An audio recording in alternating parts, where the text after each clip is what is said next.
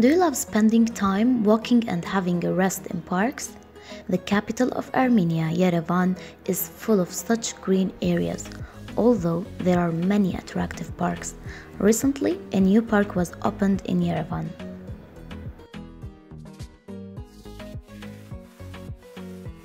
The park is dedicated to the 2800th anniversary of Erebuni Yerevan.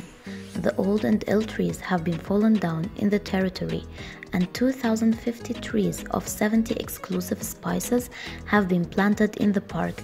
As a result, the green area has been almost doubled.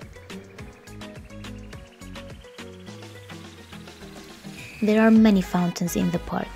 During the construction, some of healthy trees have been transferred from the central part of the park to the edges in order to free space for the fountains. A 24 hours automatic irrigation is introduced with an exceptional drip and shower autonomous irrigation system.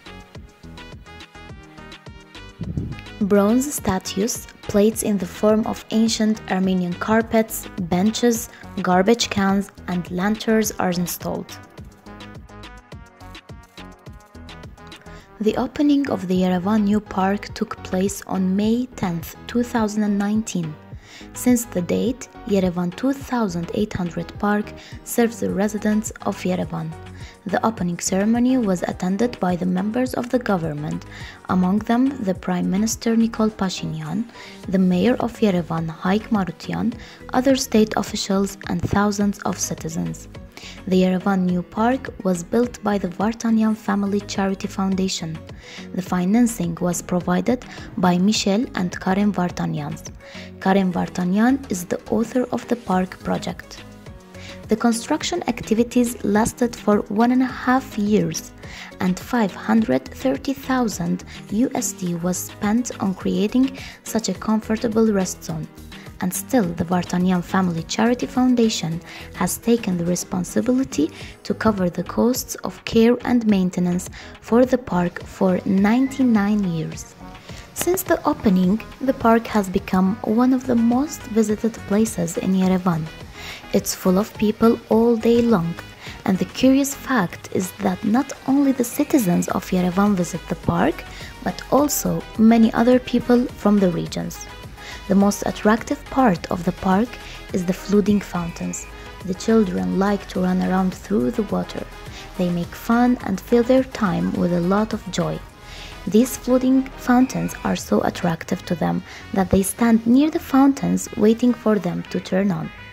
Looking at them, you may think that it's always Vartavar, one of the famous festivals in Armenia, in this park. There are also many interesting statues in this attractive park. The area is decorated with bronze statues of a bull and a lion with Urartu style. There are also some statues of children. In my opinion, the most favorite statue in this park is a smiling girl's statue who has outstretched her hand up to a raining cloud. The park is comfortable for everybody regardless of age. The children like running around the territory through the flooding fountains. Some youngsters join them as well. Others walk around or sit on the comfortable benches and have a rest. Walking around this rest zone is especially pleasant in the evening. At that time of the day, the weather is relatively cooler, the gentle wind is blowing, and the park is enlightened due to the lanterns arranged all around. The Yerevan 2800th Anniversary Park is located at the city center Getron district.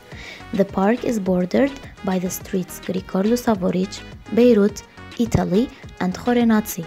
To the other side of Italy Street, the English Park is situated and to the Grigor Lusavorich, the municipality of Yerevan rises. It takes some 5 minutes to walk to arrive at the new park from the Republic Square. To sum up, dedicated to the 2800th anniversary of Yerevan, the park is owned by the Yerevan community.